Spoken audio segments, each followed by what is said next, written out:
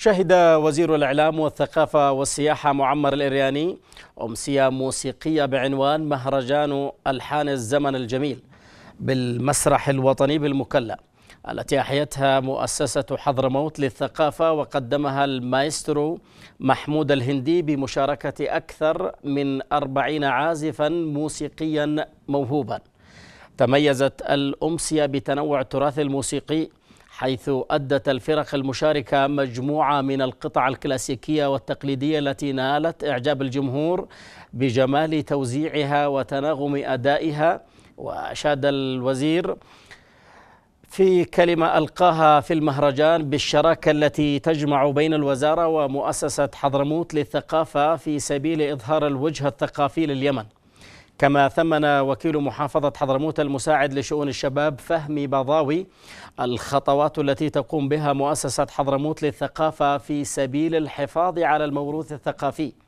فيما عبرت مديرة مؤسسة حضرموت للثقافة المهندسة شروق الرمادي عن سعادتها بالنجاح الكبير الذي حققه المهرجان مؤكدة أن هذه الفعاليات تسهم في إثراء المشهد الثقافي والفني في المكلا وتعزز من الحضور الفني للمدينة.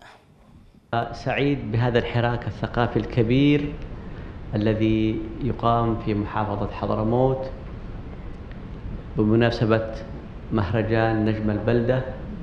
وبمناسبات عديدة ومتنوعة حيث تزخر محافظة حضرموت بكوادر شابة مميزة ومؤهلة ترتقي لمستوى العالمية.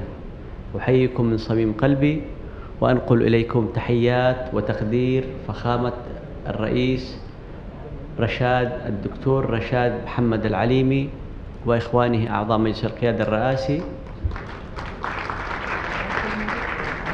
ودولة رئيس الوزراء وزملائي في الحكومة وتمنياتهم لكم بكل التوفيق والنجاح ونجاح هذا المهرجان الذي يحظو بزخم كبير وحضور كبير ليس فقط من من محافظة حضرموت ولكن من كل أرجاء اليمن وبل من أيضا من بعض دول الخليج التي ألتقيناهم في هذه المحافظة العزيزة على قلوبنا. سوف نبحر معا في مقطوعات فنية من الفن الحضرمي الأصيل الذي يتربع في مقدمة الفنون على مستوى الوطن العربي كيف لا وهو مرتكز على مدرسة فنية أصيلة حضرمية مؤسسيها ناس كبار تعجز اللسان عن وصفهم ويعجز التعبير عن الحديث عنهم حينما أتكلم على